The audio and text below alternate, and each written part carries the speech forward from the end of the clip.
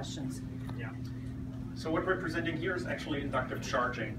So with this um, device here, it's mounted to the vehicle, and you can see it also in the video. Um, we have, let's say, a counterplate on the tarmac, which is this one here, and we are able to charge at 11 kilowatts with an efficiency of 94%. Normal wall chargers are um, at, let's say direct charges, cable chargers at 98, so pretty good results. We are able to inductively charge the vehicle. And as you can see here right now, what we have also here is like a safety mechanism that something, something is falling, let's say underneath the car, if it's like here the pen, or if it's like an animal, which we don't want to fry with that kind of power that we're putting in there, we're able to detect that and then actually stop the charging. And uh, what we're also able to do is we're able to maneuver the car within 10 centimeters of range to the mounting plate.